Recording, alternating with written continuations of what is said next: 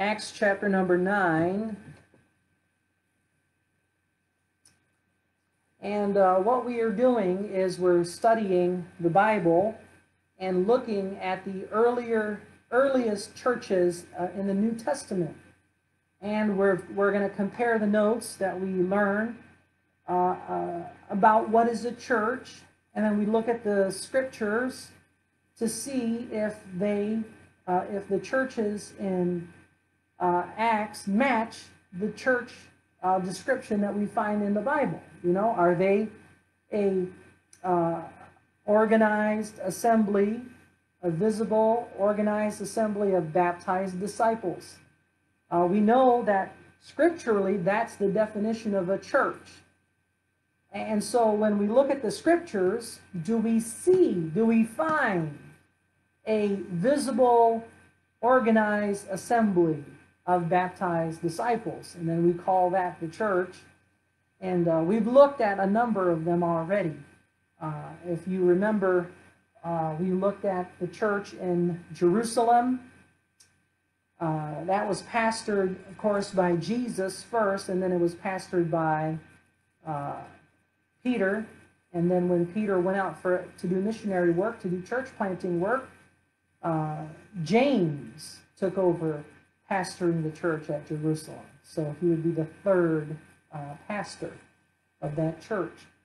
And then that church, of course, started all churches all everywhere. The church in Samaria was established. We talked about that. So let me get my map over here, just so that we'll we, we, we will build upon the things that we're learning about. Somebody now. Okay, let me get that drawing here. So we see, and uh, there's Lake Huldah. Uh, let me use my my blue one for the lake. Lake Huldah here. Lake Galilee and the Jordan River and the Dead Sea. and this is the Mediterranean Sea. Waves there. so we see the coast of Israel. Jerusalem will be right here, right around here.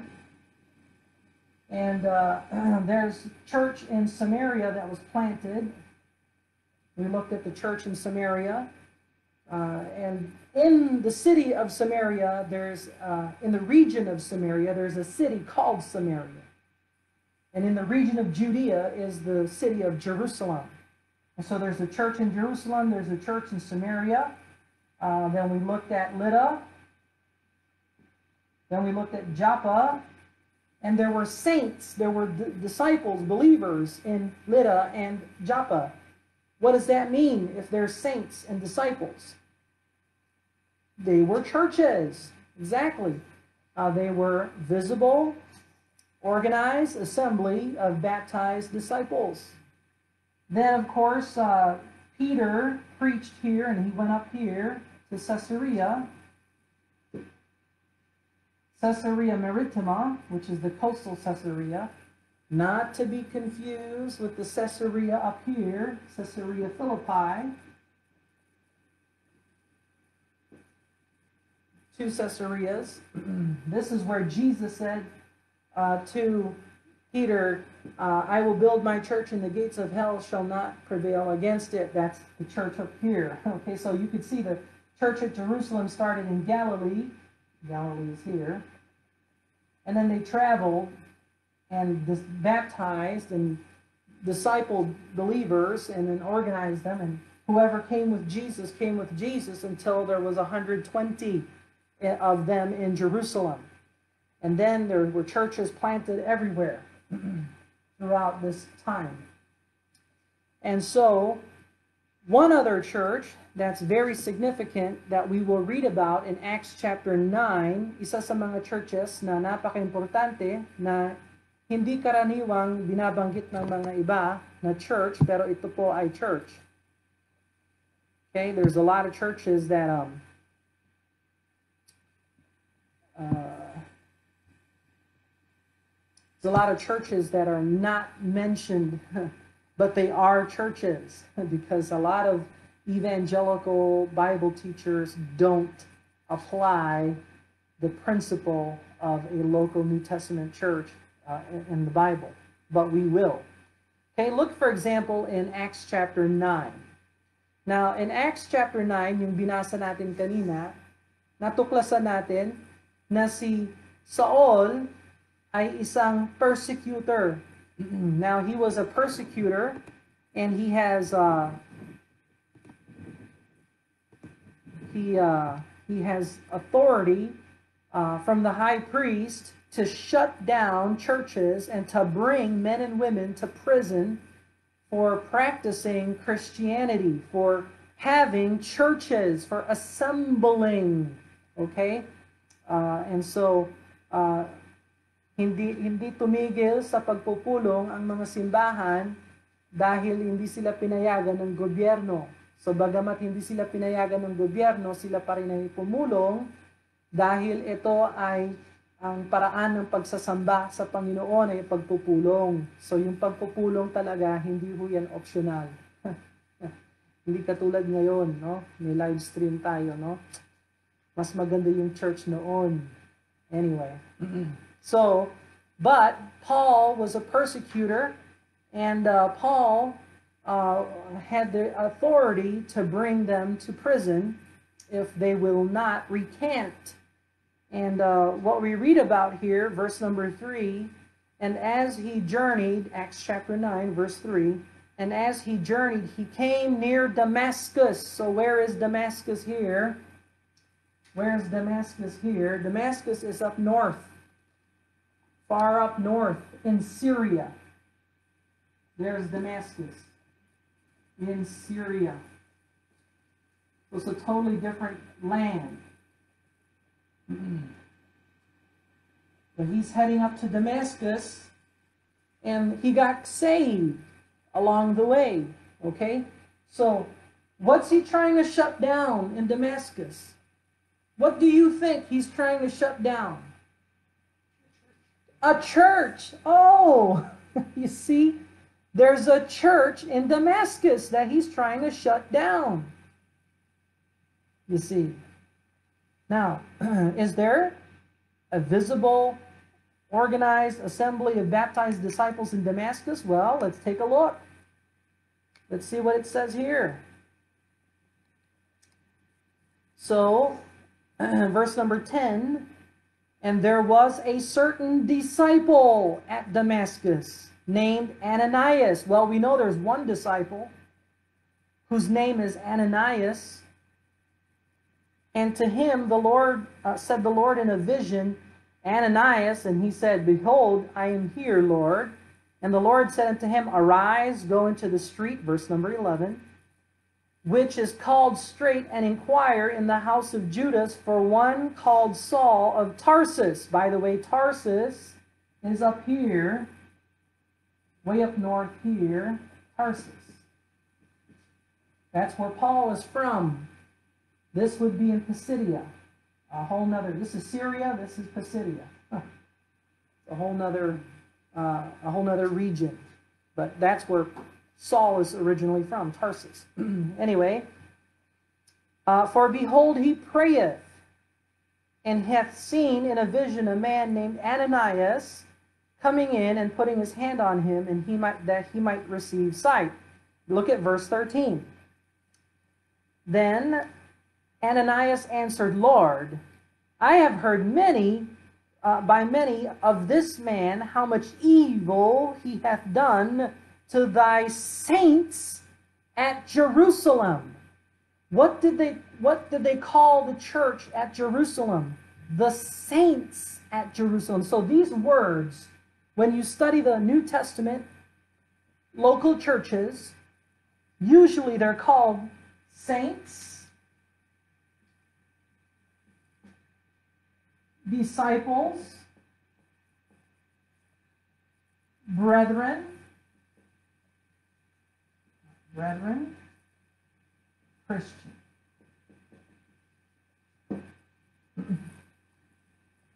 These are all names or what they called churches in the Bible. the saints at Jerusalem, what is that saints at Jerusalem referring to? The church at Jerusalem. So there's a is there a church at Jerusalem? Yes. Yes. and uh, last week we saw that um, the church at Joppa, they were called the disciples. The the church at Lydda, Lydda, they were called the saints. to the saints. You see. and uh,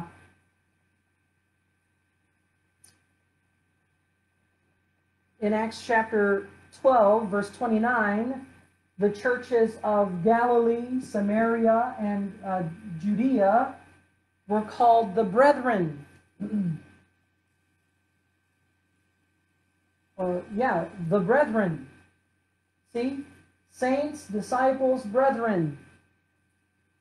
Mamaya pa sa Acts, uh, sa Acts chapter 15, tatawagin Christians. Okay, but Christian will come in later. But uh, they're not just believers that are not associated with the church. The Bible assumes that they are baptized disciples, baptized saints, baptized brethren, church members. Nobody in the New Testament, uh, except for the thief on the cross, uh, is, is a, uh, wasn't a church member, presumed to be a church member. They all belong somewhere. the uh, Ethiopian eunuch was baptized. What, what church did he join? well, presumably he joined the church in Jerusalem. And then when he went back home to Ethiopia, where, where is Ethiopia here? Well, you have over here is Egypt, and over here is would be Ethiopia, somewhere down there. and where did where did uh, where did he go? He went back to Ethiopia and most likely planted a church there. And now there's a bunch of Coptic churches in Ethiopia historically. And so anyway, the point I'm making is every saints, disciples, and brethren and Christian are associated with the local church. They were there. They were members of the church. And so is there a church in Damascus? Well, Let's look at um, verse number 14. Acts chapter 9, verse 14. And here he hath authority from the chief priest to bind all that call on thy name. But the Lord said unto him, Go thy way, for he is a chosen vessel unto me, to bear my name before the Gentiles and kings and the children of Israel. For I will show him how great things he must suffer for my name's sake. And Ananias went his way and entered into the house, putting his hand on him, said, Brother Saul, the Lord, even Jesus, that appeared unto thee in the, the way, as thou camest, has sent me, that thou mightest receive thy sight and be filled with the Holy Ghost. and immediately there fell from his eyes that had been scales, and he received sight, forthwith arose and was what? Baptized. Wait a minute. Is there an institution that is authorized to baptize? Yes, there is. What is the only organization, organism, institution created by Jesus Christ that is authorized to baptize? The local church the church. So there's a church in Damascus that's authorized to baptize. So is this a church? Yes, it is, you see. That's why we know there's a church there. And most likely Ananias was the pastor because the Lord spoke to the pastor and told the pastor how to run the church, what to do next. That's exactly how the Lord operates today. In every church, there's a, an elder, a bishop, an overseer, a pastor, a man of God, appointed, the appointed preacher and teacher in the assembly.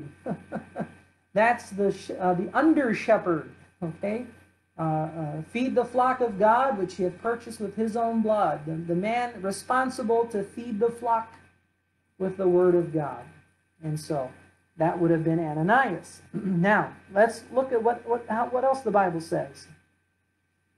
Look at verse 19, Acts chapter 9, verse 19. So, Paul was baptized. What member, what church is Saul or Paul a member of? The one mystical, universal body of Christ? No. He became a member of the church at Damascus in Syria. so, uh, look at verse number 19.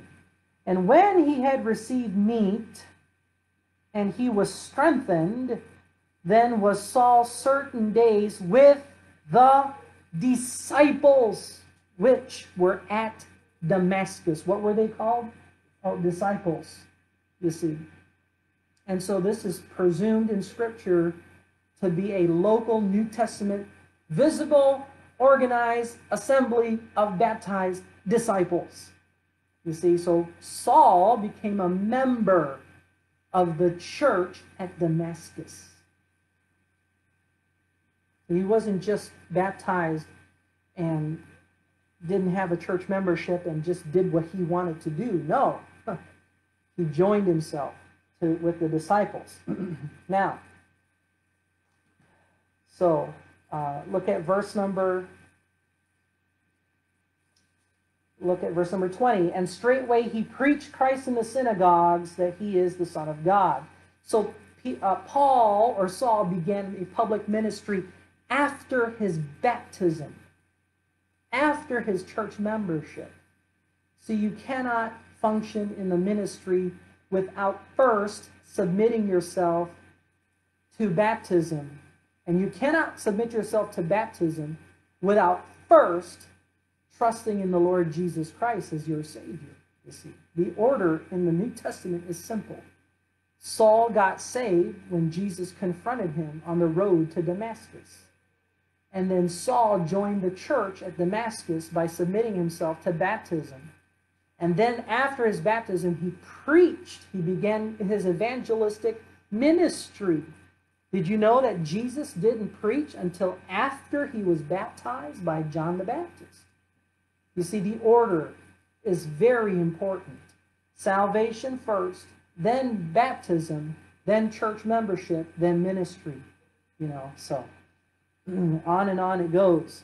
Now look at verse 23. And after many days were fulfilled, the Jews took counsel to kill him.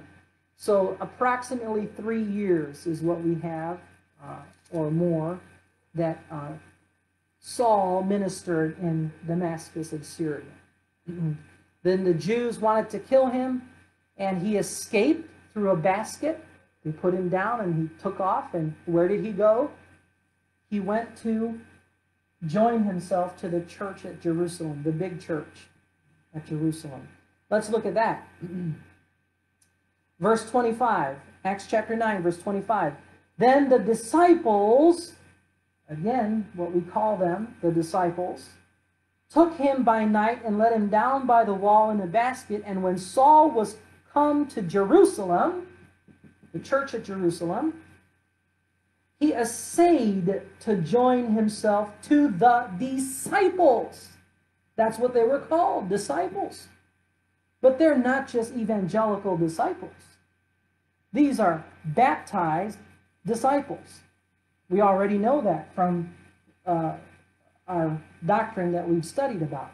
You see, but he essayed to join himself. He wanted to become a member of that church in Jerusalem. He essayed to join himself. But they were not quick to receive him because they were fearful that he was a persecutor. And of course, you see how far Syria is from Judea. And so it's not an easy journey. And so communication, they didn't have Facebook and they didn't have instant messenger where, you know, they could share instantly, hey, Saul's okay now, he's saved, you know.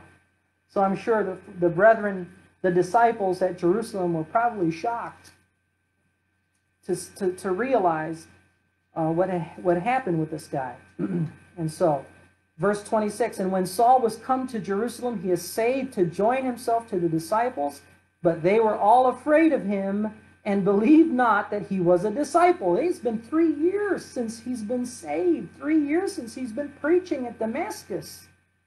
But uh, due to uh, the distance and lack of communication, you can understand why the disciples at Jerusalem were not ready to receive Saul.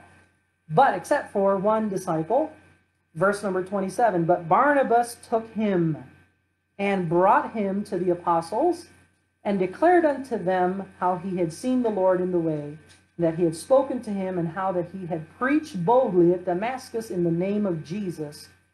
And when he was with, uh, and what, and he was with them coming in and going out at Jerusalem. So basically, because of Barnabas, they received um, Saul, and uh, and uh, Saul was able to live with them and eat with them and function with the church and minister to the people through the church. And he spake boldly in the name of the Lord, verse 29, and disputed against the Grecians, and they went about to slay him. So he, uh, Saul was so powerful in his preaching and teaching ministry that the Grecians uh, wanted to kill him. And so, what did the church at Jerusalem do? Uh, which, when the brethren, the brethren, you see the names, the brethren, the disciples, the saints, all of that is what we call the members of the church, of the churches uh, which when the brethren knew, they brought him down to Caesarea. They brought him down to Caesarea and sent him forth to Tarsus. They returned him to his hometown, to where he grew up. Most likely that's where his family is his mom, dad, sister, or whatever family members he had. Uh, and uh, they sent him forth to Tarsus, and he lived there probably 10 years. You know, uh, out back home, and you know, what did he do back home? Most likely he preached and teach. Most likely he did evangelistic work. This is Tarsus, where he's from. Most likely Tarsus is where he would work with his hands to, su to support himself. He was a bivocational missionary, uh, bivocational church planter. Uh, he uh, tent, made tents and su supported himself and uh, preached the gospel, no doubt. Uh, were churches established? We don't know. Um, I, I would tend to think that there were churches there, but we don't see that in the scriptures. And so we, we have to be quiet, silent where the scriptures are silent. But if the pattern is true, uh, he's not interested in just preaching and having converts and the converts not not becoming disciples you see. Uh, so we don't know the uh, obscurity of uh, paul's um, uh, syria and tarsus ministry. The silent years we would call that. The silent years.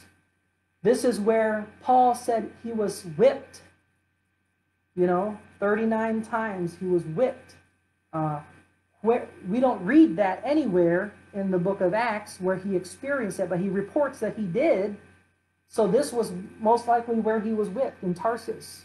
This is the time where he most likely felt the rejection from his family. They probably rejected him because he's a turncoat uh, Jew, uh, you know. so uh, he suffered many things. And that's just the beginning of Paul's ministry. Now, there's another church. We'll go over to Acts chapter number 11.